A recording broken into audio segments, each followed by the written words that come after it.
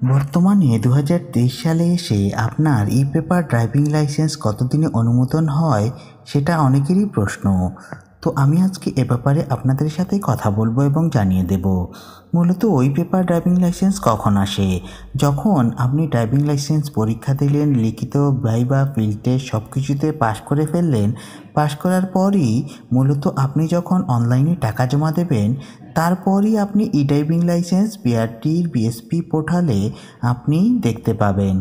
তো এখন কথা হচ্ছে কতদিন পর সাধারণত বিএসপির পোর্টালে আপনি আপনার ই ড্রাইভিং লাইসেন্সটি অনুমোদন হয় অথবা আপনি ওখানে থেকে ডাউনলোড করতে পারবেন। মূলত এটি ভেরিফাই করে বিভিন্ন ক্ষেত্র বিশেষে।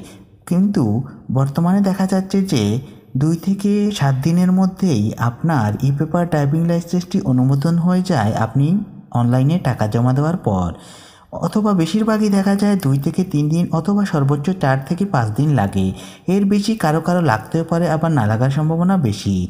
আবার এজন্য এটা আপনাদের বললাম যে, আপনি যদি দেখা যাচ্ছে যে সাত দিনের মধ্যে আপনার যদি ই পেপার ড্রাইভিং লাইসেন্স অনুমোদন না হয়, তাহলে আপনাকে বুঝতে হবে যে আপনার হয়তো কোনো সমস্যা রয়েছে। আবার কোনো কোনো ক্ষেত্রে দেখা যায় যে আট দশ দিন সময় লাগতে পারবে। কিন্তু দু হাজার তেইশ সালের বর্তমান সময়ে এসে দেখা যাচ্ছে, বেশিরভাগ গ্রাহকদেরই দুই থেকে তিন দিন অথবা চার দিন অথবা সর্বোচ্চ পাঁচ দিনের মধ্যে ই পেপার ড্রাইভিং লাইসেন্স, ব্যাংকে টাকা জমা দেওয়ার পরপরই আপনারা ডাউন ডাউনলোড করে নিতে পারছেন।